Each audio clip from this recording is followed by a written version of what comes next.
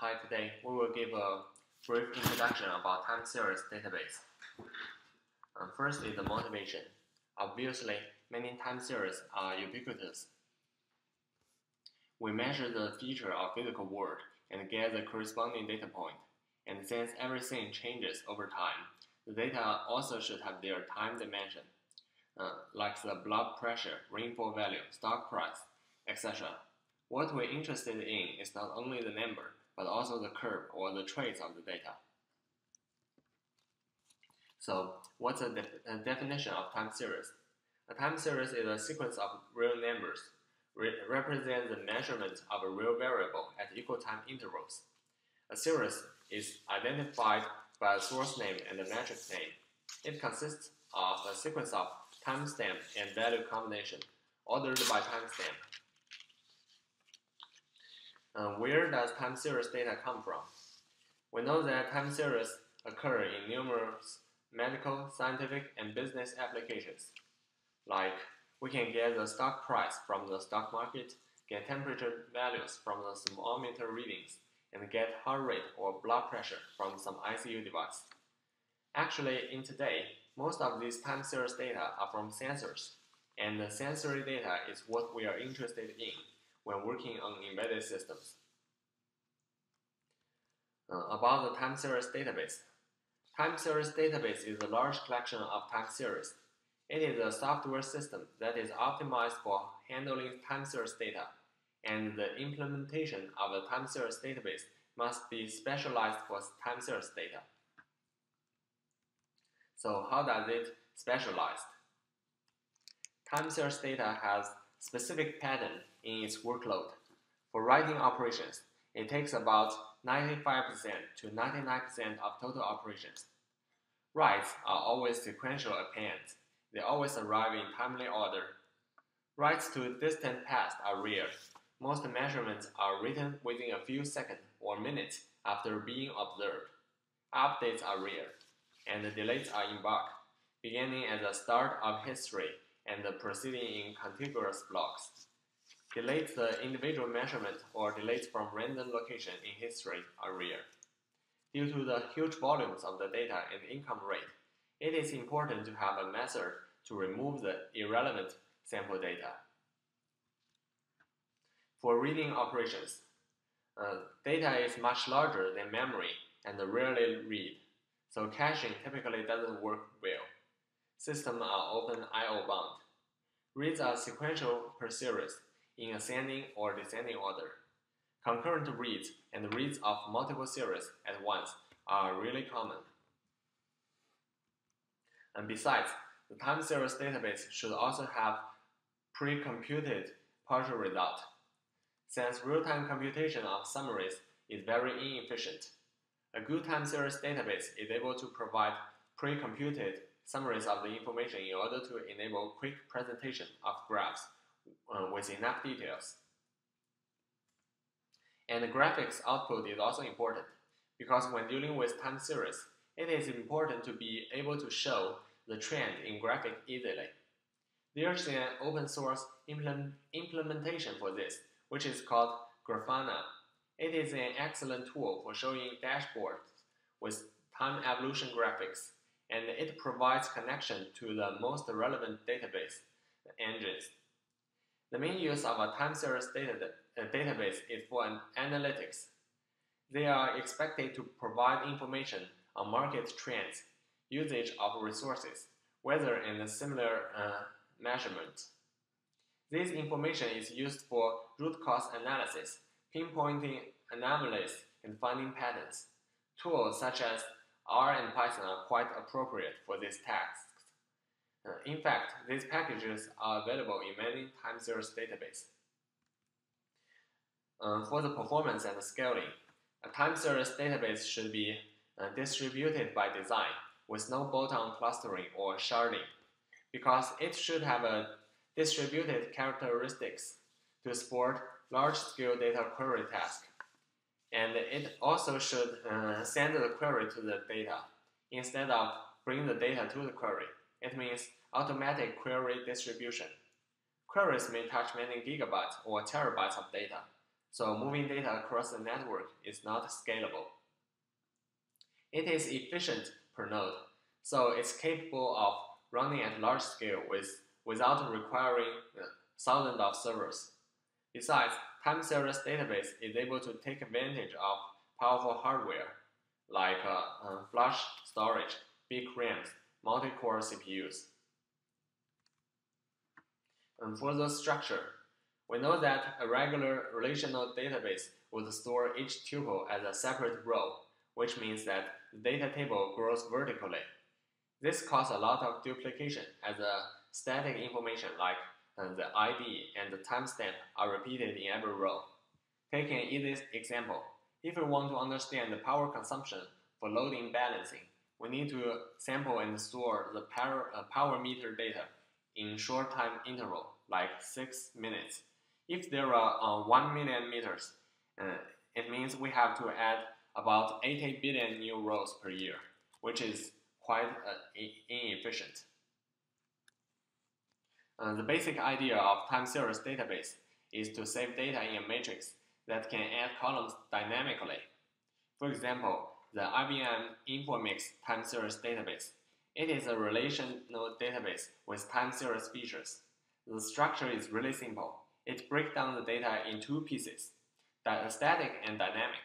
The static data is the meter information that does not change, like the meter ID, and the dynamic, dynamic data is the information that changes, like the meter readings.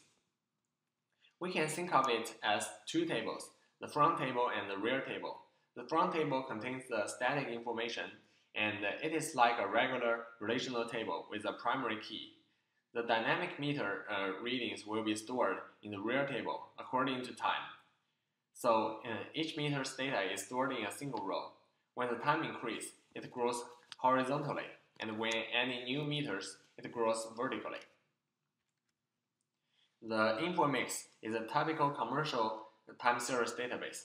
Actually, there are uh, more open time series database, which is much more useful. This table shows a ranking of time series database ranked by DB engines according to their popularity.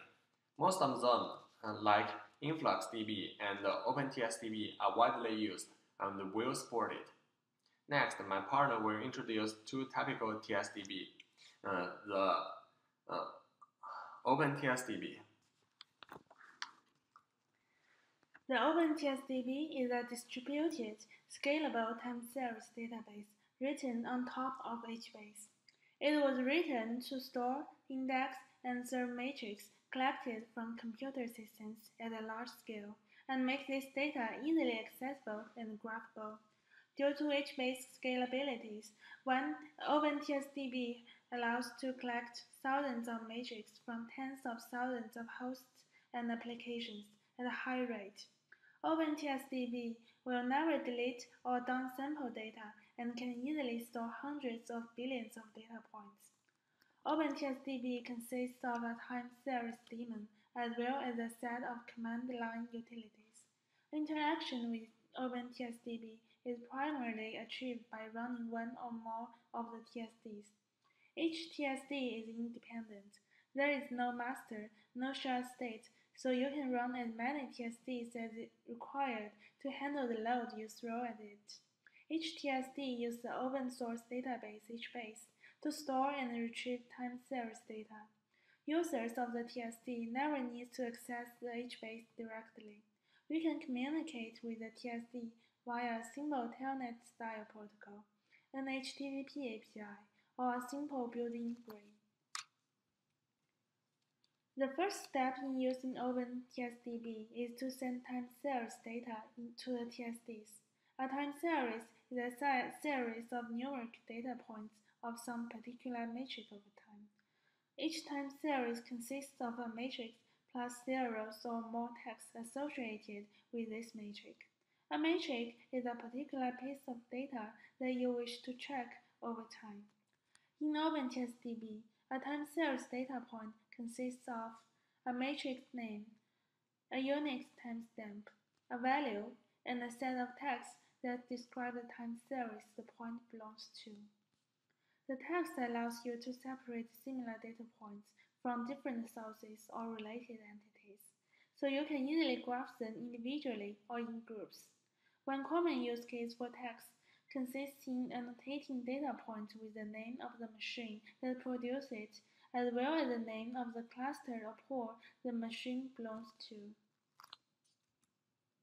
This example contains six data points that belongs to four different data time series. Each different combination of metric and text makes up a different time series.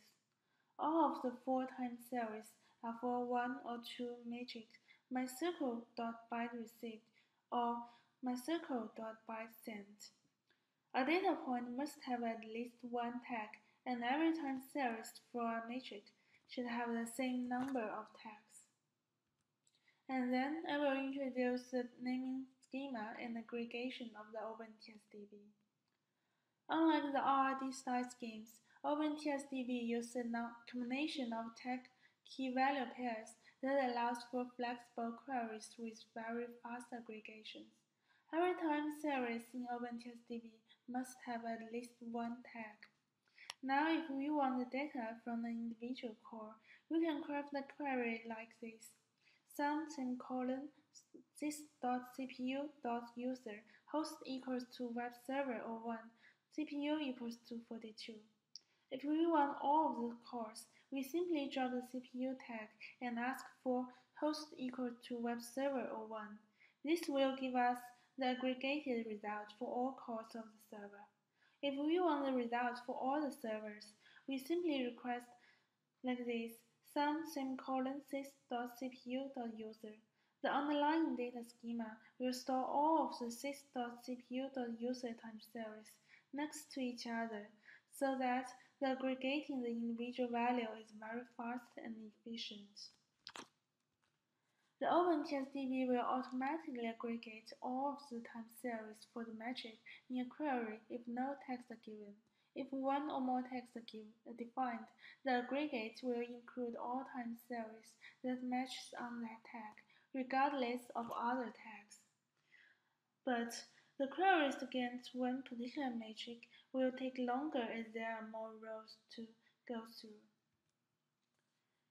OpenTSDB allows for writing data for a given time series in any order you want. This enables significant flexibility in writing data to a TSD, allowing for populating current data from your systems and then importing historical data at a later time. Writing data points in OpenTSDB is generally idempotent within an hour of the original write.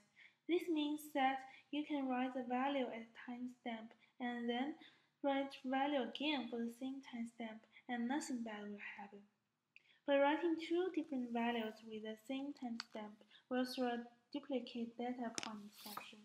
This is due to a difference in encoding integers and floating point numbers. If the first value was an integer and the second a floating point, the duplicate error will always be thrown. For scalability and throughput, if we have many sources, it's best to scale by running multiple TSDs and using a load to distribute the writes. We can also set up a Hadoop, Hadoop and HBase cluster with multiple servers, which will automatically distribute copies and spread operations among the multiple servers. And it can increase the performance and storage.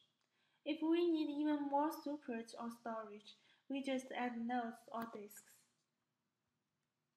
The easiest way to get started with OpenTSDB is open up Terminal and Telnet client, connect to a TSD, and issue a post command and hit enter.